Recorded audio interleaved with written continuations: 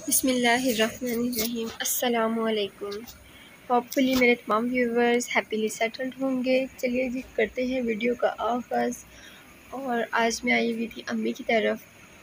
मेरे लिए बन रही थी बिरयानी तो मैंने सोचा कि अम्मी की हेल्प की जाए और कुछ वीडियो में कैप्चर कर लिया जाए अपने व्यूवर्स के लिए। यहाँ बन रही है जी बिरयानी और मैं इसको शूट कर रही हूँ, ताकि मैं अपने व्यूवर्स के साथ शेयर कर सकूँ। बिरयानी की रेसिपी आपके साथ शेयर कर रही हूँ। इसके लिए ये देखिए मटेरियल सारा तैयार शेयर करके रख लिया है। सबसे पहले ये है जी साशे है बिरयानी मसाले का। इसके अलावा इमली और आलू बुखारे को पानी में भिगो के रखा है। तकरीबन दस मिनट हो गए इसे भिगोए हुए। इसके बाद है जी दो टमाटर लिए हैं और इन्हें लंबे लंबे जो क्यूब्स होते हैं उसमें काट लिया है। सॉरी स्लाइस में काट लिया है। अदर है जी अदरक, लहसुन पेस्ट एक चम्मच और डेढ़ चम्मच हरी मिर्च का पेस्ट हम लोग तो कुछ स्पाइसी खाने जो है वो पसंद करते हैं, इसलिए यहाँ पे मिर्च थोड़ी सी ज़्यादा होगी। दही इस्तेमाल कर रही हूँ तकरीबन हाफ़ कप एंड प्याज है चॉप किया हुआ एक कप तकरीबन ये चार प्याज होंगे छोटे मीडियम साइज़ के। इसके बाद है जी चिकन। चिकन लिया है हाफ़ के जी यानी आधा किलो। इसे अच्छे से वॉश करके मैंने इसका पानी वगैरह निकाल लिया है। उसके बाद ये है दादड़ मिर्च। सुरख मिर्च होती है, ये वो है और ये तकरीबन है एक चम्मच। नमक डेढ़ चम्मच। और इसके बाद है जी पैन। पैन में मैंने घी जो, ऑयल जो था उसको गर्म होने के लिए रख दिया है। ये है जी चावल चावल एक के जी है, यानी एक किलो एक किलो चावल लिए हैं उन्हें मैंने साफ़ करके रख लिया है। सबसे पहले हमें क्या करना है कि पैन में घी डालना है और इसे करना है गरम, तकरीबन चार चम्मच आपने ऑयल के डालने हैं और इसे गरम कर लेना है। दैन आपने इसमें चिकन जो है वो डालना है। चिकन का आपने पानी अच्छे से खुश कर लेना है अदरवाइज़ आपके हाथ चल सकते हैं ऑयल जो है वो आपके हाथों से गिर सकता है तो इसके बाद एक एक साइड से हमने इसमें चिकन डाल दिया और कुछ देर साइड से पकेगा फिर हम इसको टर्न करेंगे और इसे हमें इतना यानी पकाना है कि ये वाइट हो जाए। ब्राउन से वाइट में कन्वर्ट हो जाए या फिर लाइट गोल्डन सा इसका कलर हो जाए। बिरयानी में जो अच्छा लगता है वो गोल्डन कलर का अच्छा लगता है तो यहाँ मैं इसे गोल्डन कलर जो है वो दूँगी। और मेरी बिरयानी में सीक्रेट ये है कि मैं जब भी चिकन जो है उसे फ्राई करती हूँ मैं उसमें नमक ऐड करती हूँ। नमक तकरीबन एक चुटकी या दो चुटकी इसमें ऐड करती हूँ फिर मैं जब चावल में नमक डालती हूँ उससे थोड़ा कम कर लेती हूँ।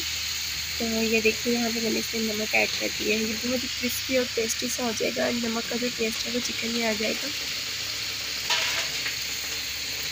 चिकन की साइड चेंज करेंगे एक साइड से जल ना जाए। तो देखिए यहाँ पे हल्का हल्का सा लाइट हम्म, गोल्डन होना शुरू हो गया है। मुझे इसे कुछ देर और गोल्डन करना है।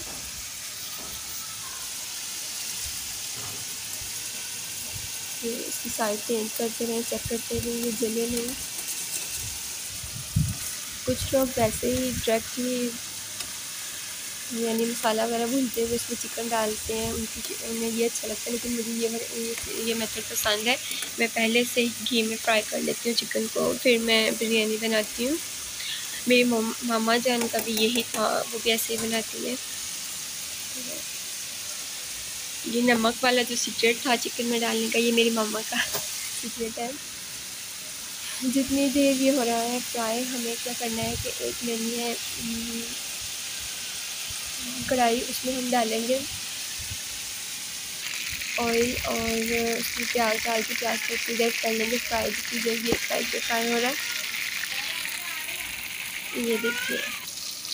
फ्राई में डाला है घी और इसमें डाला है प्याज। प्याज मुझे जो है वो प्याज का कलर गोल्डन डार्क गोल्डन पसंद है। इससे चावल में कलर बहुत अच्छा आता है तो मैं इसे कुछ ज़्यादा गोल्डन करूँगी। जैसे ये गोल्डन हो, हल्का हल्का गोल्डन होना शुरू हो जाएगा तो हम इसमें हल्का सा पानी का छिड़काव करेंगे और फिर इसमें अदरक लहसुन का पेस्ट ऐड करेंगे। अदरक लहसुन का पेस्ट की जब भुनी हुई खुशबू आने लग जाएगी, फिर हमें इसमें टमाटर ऐड करने हैं। ये देखिए। यहाँ पर जी मेरे साथ एक मिसला हो गया था। मैं मोबाइल पे हीटिंग करती हूँ तो इसमें मैसेज आ रहा था कि हीट बहुत ज़्यादा है इस वक्त ना मोबाइल बहुत गर्म हो गया। तो फिर मुझे कैमरा ऑफ़ करना पड़ा। मोबाइल को मैंने फ्रिज में रखा ताकि ठंडा हो जाए।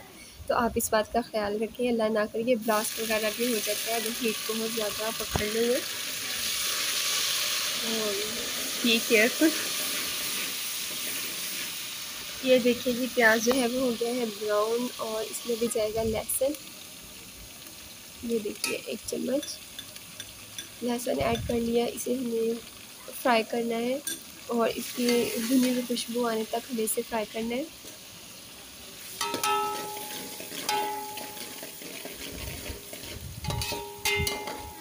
मुझे स्पाइसी बिरयानी पसंद है। उसके अलावा जब इसमें रायता बनाती हूँ, रायते में मैं ज़्यादा स्पाइसी इस्तेमाल नहीं करती। रायते में मेरा ये होता है कि मैं ग्रीन जो होता है, पुदीना, धनिया और इस तरह की चीज़ें डालूँ, नमक डालूँ, उसमें मिर्च ना ही डालूँ तो बेहतर है। तो इसमें मुझे थोड़ी सी स्पाइसी ज़्यादा पसंद है। देखिए जी, इसे हमें करना करना है ब्राउन कुछ लोगों को जो होता है, वो गर्म मसाला साबुत पसंद होता है तो वो जब घी में प्याज फ्राई कर रहे होते हैं फिर उसमें ज़ीरा काली मिर्च, छोटी इलायची, बड़ी इलायची और दालचीनी वगैरह आप डाल के उसको ब्राउन कर लेते हैं। अगर आपको पसंद है तो आप ऐसे सबसे पहले उसे फ्राई करके फिर प्याज डालिएगा। तो मुझे जो है, मुझे इस तरह के नहीं पसंद। वो निकाल निकाल के सारे बाई रखते हैं। मुझे उससे बहुत इरीटेशन होती है। प्लेट की साइड पर रखी जाएँगे। इसलिए मैं पैकेट जो होता है, मसाला जो होता है, वो एक के जी में एक साशे जो होता है ट्वेंटी फाइव वाला, वो पूरा डाल देती हूँ। इससे ये होता है कि टेस्ट सारे चावलों में आ जाता है और ज़ाया भी नहीं होता। ये देखिए, यहाँ पर तकरीबन टमाटर गल गए हुए थे। इसमें मैंने इमली का जो पानी था वो और इमली और आलू बुखारा सारा ऐड कर दिया है। साथ में इसमें जाएगा एक साशे मसाले का और इसके साथ जाएगा दही। दही नहीं जाएगा, अभी हमें इसे कुछ देर फ्राई करना है और फिर इसमें हम लोग बाद में दही ऐड करेंगे। ये देखिए, ये फ्राई हो गया है। अभी इसमें जाएगा दही। दही डाल के हमें इसे अच्छे से भूनना है कुछ देर के लिए और ये कुछ देर पक जाएगा। फिर हमने इसमें, जैसे मैंने दो ग्लास चावल के लिए थे तो मैंने इसमें चार ग्लास पानी के ऐड कर दिए हैं। ये देखिए, ये था। तो इस तरह से आप मेयर कर लें। एक अगर ग्लास चावल का होगा तो दो आपने पानी के डालने एक बर्तन अगर चावल का है, जैसे कप कुछ लोग मांगते हैं। चावल भी मैंने साथ में भिगो दिए थे। जब चिकन फ्राई हो गया था, उसमें पानी ऐड करने लगी थी, उसी वक्त मैंने इसमें चावल को चावल को भिगो दिया था। यहाँ पर जी देखिए जी, पानी पकना स्टार्ट हो गया है और अभी इसमें ऐड करने हैं चावल। चावलों का पानी हमने निकाल दिया है और चावल जो है वो इसमें डाल देंगे।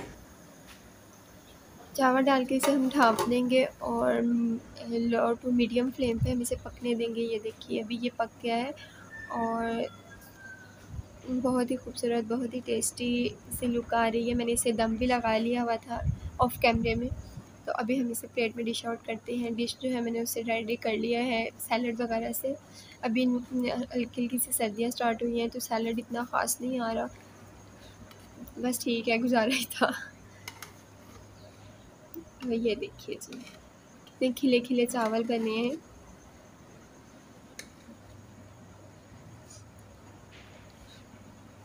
ये सुपर बासमती राइस नहीं था, ये बोना चावल थे, लेकिन फिर भी देखिए कितने लंबे हैं और कितने अच्छे लग रहे हैं।